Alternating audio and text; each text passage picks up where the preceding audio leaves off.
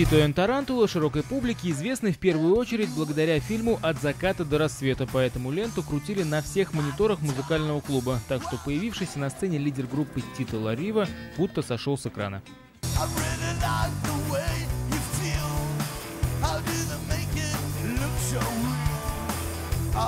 Call the damn receipt Cause you're my girl now and croquet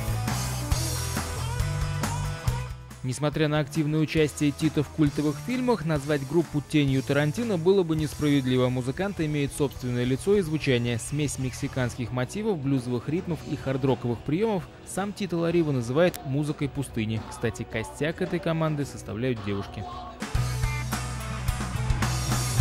Изначально группа называлась Tito and Friends, потом музыканты решили сменить название на более звучное. Друзья хоть и превратились в тарантулов, отношения сохранили. Ну как с ним работается? Нет времени поспать, нет времени отдохнуть, денег нет, а так все хорошо, очень весело. Он очень хороший человек.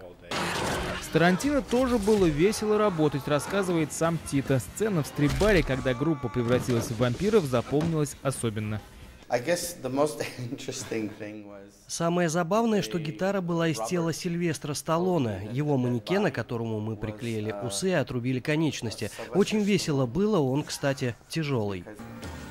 Нечто подобное публика жаждала увидеть и в Казани, и под конец выступления Титу и Тарантулам удалось таки превратить казанский клуб в некое подобие бара Титти Твистер из культового фильма с танцовщицей, питоном и текилой, но это уже совсем другая история. Антон Райштадт, Владимир Ладушкин и Дмитрий Рыженко, телеканал «Эфир».